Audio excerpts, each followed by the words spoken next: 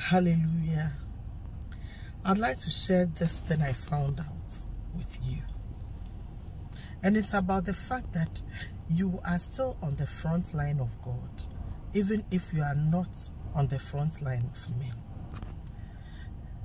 In every field you find yourself, especially in ministry, church business, let's consider our father Abraham. In the book of Genesis, chapter 18, Abraham received visitors. There were three men, and he pleaded with them, Please, do not go, stay with me. I want you to be comfortable. They agreed, and he quickly ran to his tent, found Sarah, found some young men, and asked them to quickly prepare food for these men. Sarah, in the tents, behind the scenes, prepared the food, which these three men enjoyed. Abraham received them, welcomed them, but he necessarily is not the one, was not the one who prepared the meal. Sarah, after preparing, gave it to Abraham, and Abraham is the one who saved it. So it was more like Abraham on the forefront and Sarah within the tent. But because God knows everything, when pronouncing the blessing, asked of Sarah, God sees everything we do. He knew the one who had done the major part of the cooking. He knew the one who was behind the good food, the tasty dish they were having.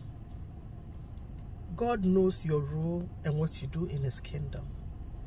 God knows what you are doing to sustain that business, even though you are not the face of it. God knows what goes into production of whatever you have been doing. Radio stations have producers and other staff, I mean TV media, who work behind the scenes to make the program what it is. Though they may never be seen, they do not go unrewarded. And I want to encourage you that God knows and sees your role, your faithfulness, your commitment to whatever you are doing, your prayer that you are putting into that ministry that is bringing so much fruitfulness. When Moses had that encounter in the bush, the burning bush experience, you know what? It was the result of the prayer and the cry of Israelites, among whom he was not found. Yet their prayer, the prayer they had put in, it was time for God to answer. And that's how come God said, the cry of my people has come up to me and you are the one I want to go and deliver them.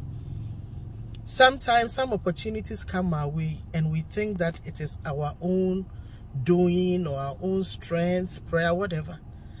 But I want you and I to understand today that it isn't always so. It was the many years of crying that the Israelites had cried, the prayer they had prayed, that caused the hand of God to move and pick somebody he had been preparing in the backyard for years. And it is my prayer that the prayer of people will lead the hand of God to you to select you. And after we have been selected, may we be humble enough to recognize that this is not our doing, but it is the doing of the Lord. This humbles me so much. That is why it's not by might and it's not by power, but by the Spirit of God. I pray that these two reports from the Bible, Exodus chapter 3 and Genesis chapter 18, would open our eyes to this new thing. May the Lord bless you for every role you have played in ministry, especially in ours. And may the Lord who remembers remember you and bring you favor. No matter how much we may think you are in the background, the God who sees all things shall reward you.